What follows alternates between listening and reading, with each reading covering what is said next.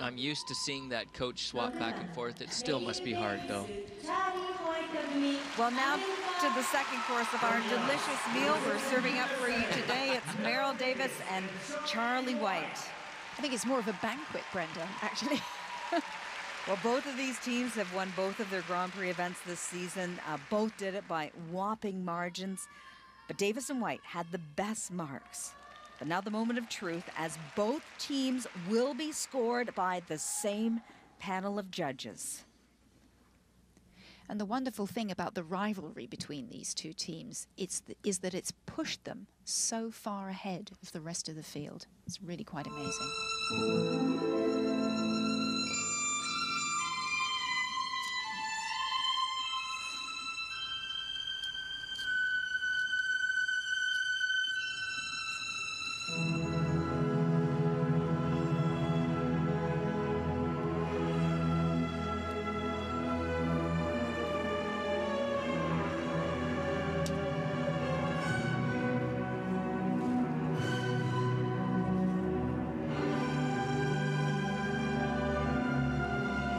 I love that lift. That entry is so difficult and they do it so well.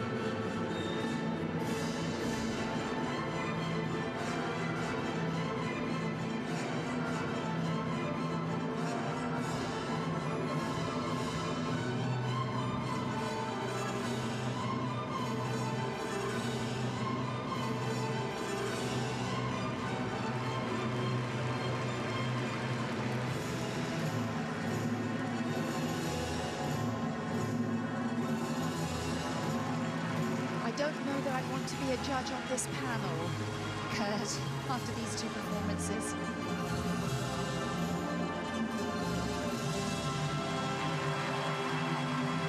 If there's only two ways to, one of two ways to go, your emotions or you dissect it technically. That's right. Apples and oranges in many ways. You know, both teams so different, but so brilliant. Incredible, incredible performances from both teams, and totally different. I completely agree. I, I, feel that Tessa and Scott has more of an organic feel to it, where uh, Meryl and Charlie has a flash and a flare. Pomegranates and pears. You can pick either one yeah. and not be wrong. Well, Meryl Davis and Charlie White have not lost in the past two years. Their scores coming up after this.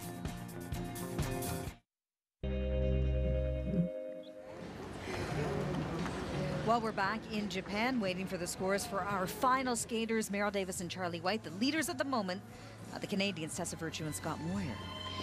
I just think we're totally privileged to be able to watch two teams of the quality of these two, giving us such totally different performances, so beautifully skated. It, it, it, really is absolutely incredible. The consistency of Meryl and Charlie is, is, is so amazing. One of the things I like about this program is I think it showcases Meryl in a way that I haven't really seen in the past, and it gives her a voice and a strength in the duo that I haven't seen before. Uh, but if it was just up to the Twizzles, I'm saying Scott and Tessa won the Twizzles today. I think you're right. Here they are.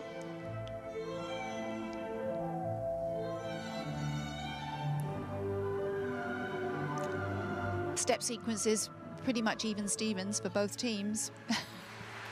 This team needs a score of 112.35 to move ahead of the Canadians and into first place. Uh-huh. And they have it. Oh, by about a point. So the Americans win their fifth, fifth consecutive Grand Prix final. And once again, the Canadians, Tessa Virtue and Scott Moir, must settle for the silver medal.